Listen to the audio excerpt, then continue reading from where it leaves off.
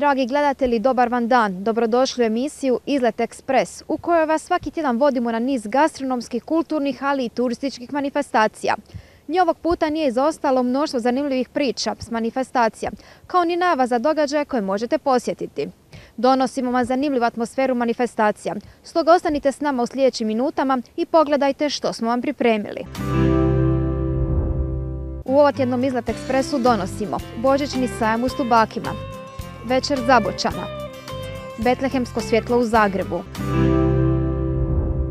Od posljednjeg izdanja Izlet Ekspresa održane su brojne manifestacije. Možda ste neke događaje posjetili. Ako niste, razloga za brigu nema. Kratki pregled pogledajte u našoj rubrici Dogodilo se. U Stubičkim toplicama je održan božićni sajam koji se održava na ovom mjestu od 2015. godine. Uz razne božićne ukrase u ponudi su bili proizvodi stubičkih OPG-ova.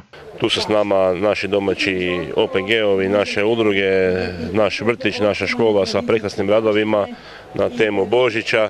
Imamo i e, ove prekrasne jaslice koje su lani nastradale u požaru na inicijativu radnog tijela za ekologiju i kulturu. Moram posebno napomenuti gospođu Zrinko Košić-Bosnar. E, pokrenuta je opet akcija i napravili smo nove jaslice. Uz ostale udruge na Božićnom sajmu su svoje radove izložili učenici iz učeničke zadruge Bobi koja djeluje pri osnovnoj školi Vladimira Bosnara. Već se tradicionalna učenička zadruga uključuje u Božićni sajam na trgu u Stubakima. Evo, trudimo se ekološkim proizvodima uljepšati ovaj sajam. E, imamo nekoliko sekcija, od likovnih do eko-etno, ko što možete vidjeti na našim vrećicama, sve su oslikane bojama za platno. E, trudimo se raznim prirodnim e, motivima i raznim prirodnim stvarima eto, napraviti neke ukrase kojima će moći mještani uljepšati svoje domove. Učenička zadruga e, broji pet sekcija, to su sve van nastavne aktivnosti, s tim da se i razredi e, uključuju u rad e, zadruge i na svojim satovima razredne zajednice isto stvaraju razne ukrase koje možete također pogledati na našem štandu. I najmanji stanovnici Stubičkih toplica su pokazali da i oni znaju puno toga napraviti. Pa evo mi izrađujemo sa djecom znači e, različite ukrase e, božićne od prirodnina. E, koristimo u radu i likovne tehnike, znači od od nekakvih tempera pa do šivanja pa do ne znam, svega, čak i uljevanja ovih e, voska kako bi izradili svječice, znači imamo i viseće ove e, ukrase za bor, imamo i različite vijence e, adventske, eto, uključujemo malo djecu, malo mi pomažemo, pa eto. Krapinsko-zagorska županija obiluje događanjima koje obilježavaju adventsko vrijeme. Moram zaista sa zadovoljstvom utvrditi da svaka naša općina, svaki naš grad ima neka događanja koja su u ovom adventskom vremenu prije svega izraz zajedništva i izraz humanosti, jer na tim našim božićnim, odnosno adventskim događanjima u županiji, e, udruge i e, različiti, različiti akteri iz općina i gradova prezentiraju što sve rade, što su sve radili u protekloj godini, a vrlo često isto tako i sav prihod od prodaje određenih proizvoda ili donacija namijenjen je u humanitarne svrhe. Evo ovdje u Stubakima na sajmu smo već četvrtu godinu za redom, jako, lijepi, jako lijepo uređeni štandovi, e, dobra atmosfera, e, puno dobre volje i to je zapravo ono što čini ovo predblagdansko vrijeme posebnim. Moramo se spomenuti činjenice da je Krapinsko-Zagorska županija proglašena e, najboljim e, turističkim odredištem.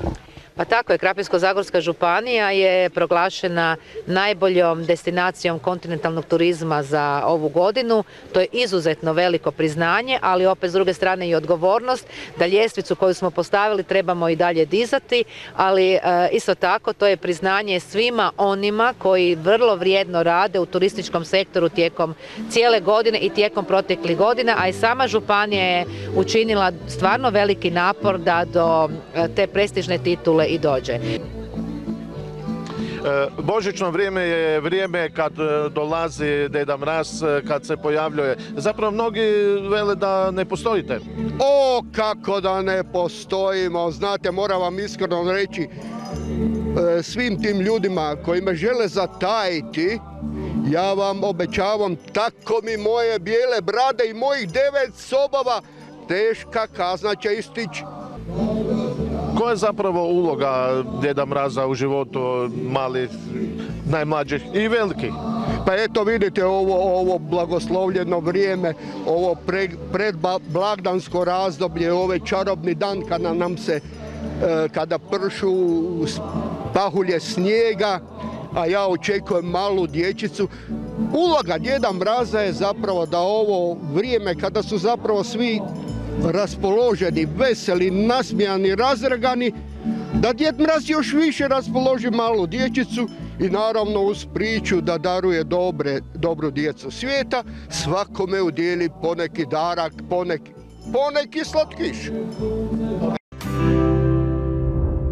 Krapinsko-zagorska županija je fotonatječaj Bajka na dlanu pokrenula prije pet godina u želji da promovira prirodne ljepote te život stanovnika Hrvatskog Zagorja. E, pet godina rasli smo u ovih pet godina u kvaliteti, u broju fotografija, ali ono što posebno veseli, evo iz godine u godinu, ove godine posebno pojavljuju se neka nova lica, neki novi fotografi, neke nove fotografkinje i to zaista govori da smo na pravom putu. Jer nemojmo zaboraviti, Krapinsko-Zagorska županija se na turističkoj karti Republike Hrvatske pozicionirala ove godine kao najbolja destinacija kontinentalnog turizma. To se nije dogodilo slučajno.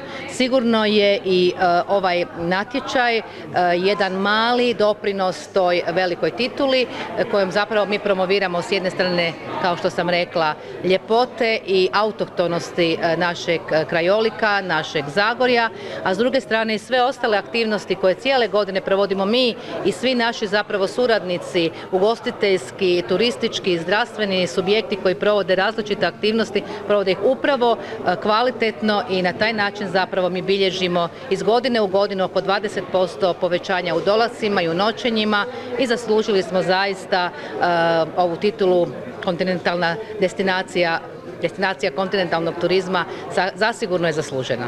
I ove godine smo tiskali kalendar, e, sve fotografije se i na kalendare e, tiskaju, ali isto tako krase i urede naše županije. E, isto tako će biti i preko Hrvatske zajednice županija plasirane, ali i drugim kanalima. U svakom slučaju ove fotografije onako u najboljem smislu promoviraju naše Zagore, našu bajku na dlanu.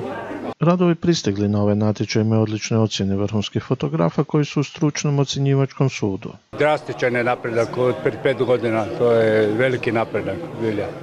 A ja sam bio prvi koji sam forsirao malo, onda su oni svi počeli da, da više ljudi stavljamo u, u tu bajkovitost i sve, ali opet da nije previše, ne, ne, ne mogu to biti portreti, ali zbilja napredovalo ova, ova kontest i ovo je zbilja za Žagovičku županiju.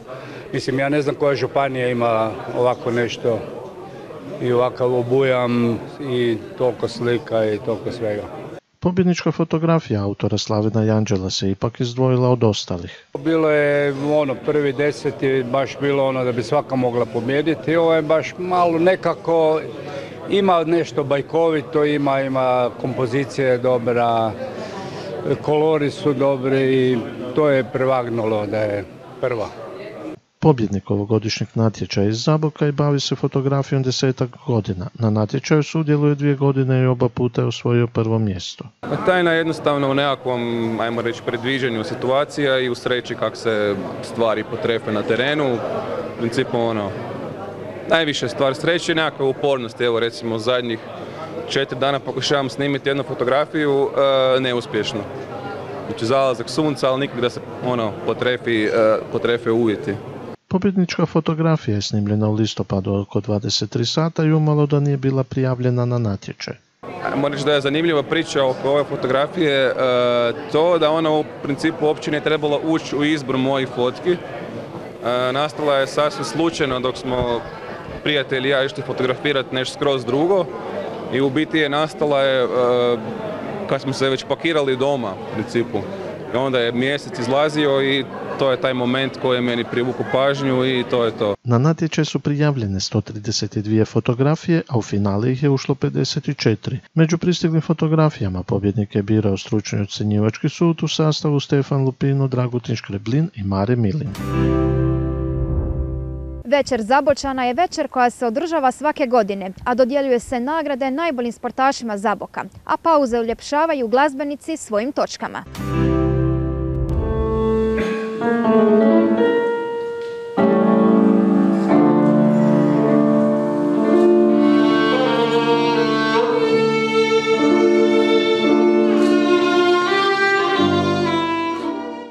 Dobrodošli, ugodno se osjećajte na ovoj našoj tradicionalnoj večeri Zabočana. Ono što će slijediti poslije kod sportaša pokazuje zapravo čemu Zabok uvijek teži. Rekli bi ovako, čemu ne moramo biti najbolji, toga se ne prijemljimo. I zato je zaista teško biti dobar, pravedan i dovoljno financijski jak u jednom takvom malom gradu kakav je Zabok, da podržiš vrhunske sportaše sa vrhunskim rezultatima na kojima nam zaviđaju puno veći, jači i financijski moćniji. A zašto? Zato jer ono što uvijek govorim, zabočani su zabok, zabok je zabočanin, a prije svega zato jer u svemu sudjelujemo sa puno ljubavi srca i želje da unaprijedimo i sebe, ali i svoj grad. Večer je tradicionalna.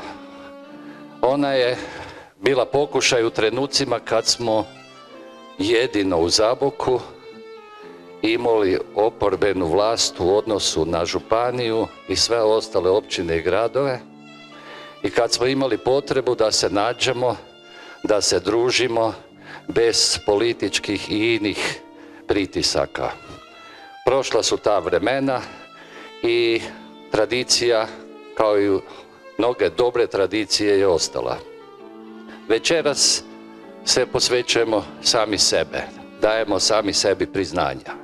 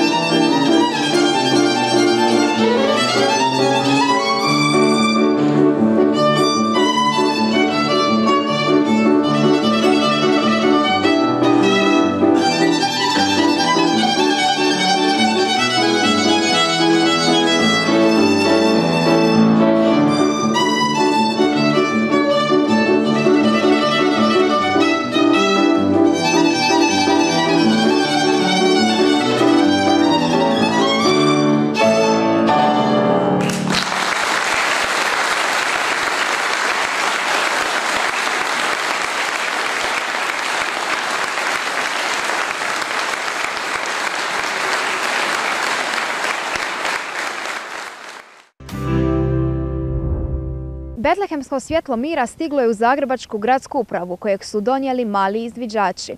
Ovo je već 26. godina zaredom da Betlehemsko svjetlo dolazi u Hrvatsku. Betlehemsko svjetlo mira simbol je Božića i u Bibliji simbolizira dolazak Isusa, a njegovim rođenjem je bio obećan mir svim ljudima dobre volje.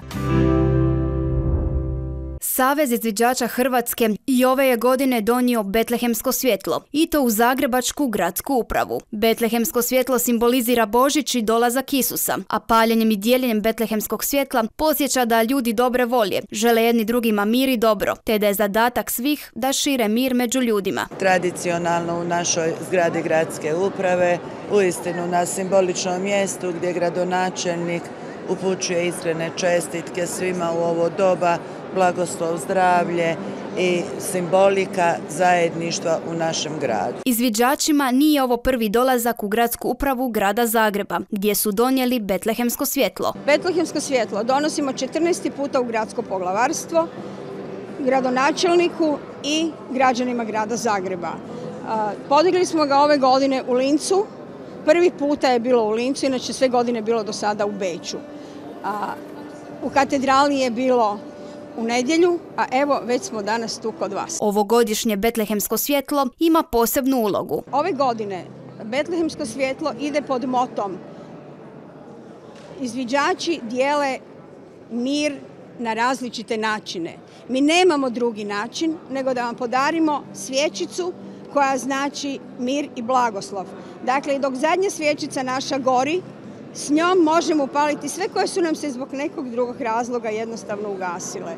Nada postoji u toj svijeći za mir i bolje sutra. Izviđači Hrvatske predali su Betlehemsko svjetlo, simbol mira i ljubavi zagrebačkom gradonačelniku Milanu Bandiću. Zadatak izviđača i katoličkih skauta je da ga donose u Zagrebačku katedralu svake godine, te se potom širi dalje po hrvatskim gradovima i župama, a župljani ga mogu ponijeti u svoje domove. U Stubičkim toplicama su predstavljeni odlični turistički rezultati ostvareni tijekom 2018. godine. U popularnim stubakima je ove godine ostvareno preko 50 tisuća noćenja, što je porast od 16% u odnosu na lansku godinu. Zabilježeno je preko 25 tisuća dolazaka, što predstavlja porast od 13,5%. Kako bi zadržali i pojačali trend dolazaka gostiju i omogućili im raznolikost usluge, općine Stubički Toplice razvijaju selektivne oblike turizma kojima je cilj povećanje turističkog prometa.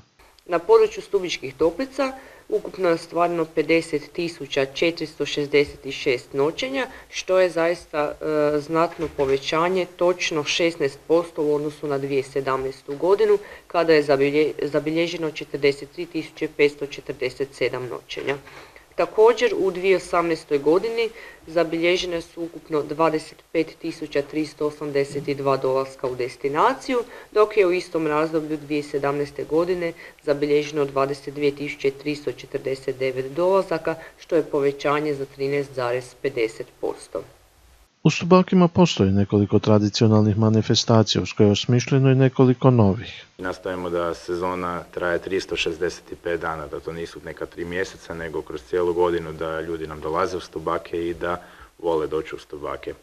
Stalno unapređavanje tih, ne samo manifestacija, nego turističkih proizvoda su jedni od glavnih razloga zbog čega nam se gosti vraćaju. Kao dvije najposjećenije manifestacije naveo bi prvi Zagorski ulični festival ili ga mali ulični festival i gljivarenje Endko s tubakima. Ovakvi rezultati omogućavaju vraćanje privatnih iznajmljivača na tržište kojih je sada svega osam. Prije je to bilo, ja mislim, oko 200 tinjak. Znači 200 kreveta su imali stubičke toplice, a sada s druge strane imamo veliki broj vikend objekata i kuća za odmor koje u biti stoje zapuštene i ne koriste se. I po prvi puta sada zakonodavac prepušta mogućnost određivanja paušalnog poreza na dohodak za privatno iznajmljivanje jedinici lokalne samouprave. Znači ne više ministarstvu turizma kao što je bilo do sada, nego lokalna znači jedinici samouprave koja mislim da ipak može bolje procijeniti potrebe svojih iznajmljivača i ocijeniti situaciju u samom mjestu nego ministarstvu turizma. Na taj način bit će i na sljedeće općinsko vijeće upućen prijedlog po kojem bi se iznos paušalnog poreza na dohodak smanjio na zakon, zakonom propisanu donju granicu, to jest na 150 kuna po krevetu. I mislim da prijedlog kao takav da će biti podržan i prepoznat, već smo pričali i mi među sobom kako se i sa načelnikom i da bi se mogla potaknuti praktički jedna inicijativa da bi stubaki poznali, postali svojevrsna porezna oaza za male te privatne iznajmljivače kako bi se to potaknulo najniži mogući porez mislim da će ohrabriti uh, dio stanovništva koji ovdje znači ima kuće za odmor, vikendice i tako dalje, da se ponovno počnu baviti tom djelatnošću. Mislim da će se doskočiti definitivno do sadašnjem oporezivanju koje je bilo nelogično, gdje su u biti stubičke toplice bile A razred i gdje su ima, plaćala se davanja u istoj kategoriji kao što ih je plaćao Dubrovnik, Split, Opatija i ostale jake destinacije na moru. E, niža opterećenja svakako bi se isto koristila za ulaganje u turistički razvoj, tako da nisu to novci koji će negdje nestati, to će sve ponovno se reinvestirati ovdje, ponovno svi oni kada bi oglašavali, oglašavali bi stubičke toplice i sve bi se vrtilo, ajmo reći, u jednom pozitivnom smjeru. Definitivno isto na taj način bi se znači iznajmljivačima pomoglo i u odnosu na privatne iznajmljivače u Dalmaciji koji znamo koliko ih ima i kak rade, ovdje bi se definitivno zašlo našim kontinentalcima malo u susret. E, turizam na taj način s tim privatnim iznajmljivanjem je isto od uvijek bio biti način da se pokrpa kućni budžet. Znači, ajmo reći, financijske neke rupe, eventualno koje su nastajale, su se tim iznajmljivanjem krpale, tako da potencijalno bi isto tako se moglo i popraviti financijska situacija, što stanovništvo, što generalno, ispriječiti eventualno i daljnje iseljavanje i tako.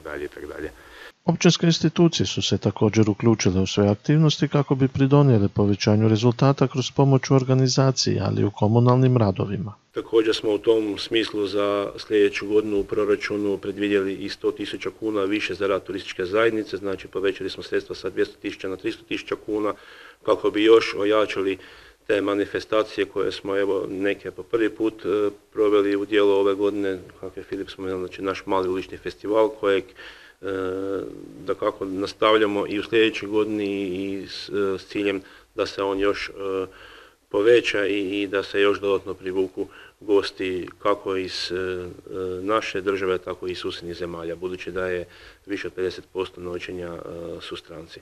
Ovakvi rezultati će sljedeće godine sigurno biti veći jer ohrabruje privatne iznajmljivače da se opet vrate. Ono što garantira povratak Stubaka u sam vrh kontinentalnog turizma je uređenje starih bazena koje bi trebali proraditi za sezonu u 2020. godini. U Izlet Ekspresu svakog vam tjedna najavljamo manifestacije koje slijede. Stoga u rubrici Idi pa vidi pogledajte koje zanimljive događaje možete posjetiti. Puhački orkestar DVD-a Špičkovina već tradicionalno u prosincu održava božićni koncert, na kojemu predstavlja svoj godišnji rad i uspjehe. Gošće koncerta bit će vokalna skupina iz Bedekovčine. Koncert će se održati u nedjelju u osnovnoj školi Ksavera Šandora Đalskog u Zaboku s početkom u 17 sati. Sveta nedjelja je pripremila poseban koncert Božić u Svetoj nedjelji, koji će se održati 28. prosinca u osnovnoj školi Vladimira Deščaka s početkom u 19 sati. Nastupaju brojni solisti i članovi Svetonedjeljskog kulturnog umjetničkog društva, te gosti iznenađenja.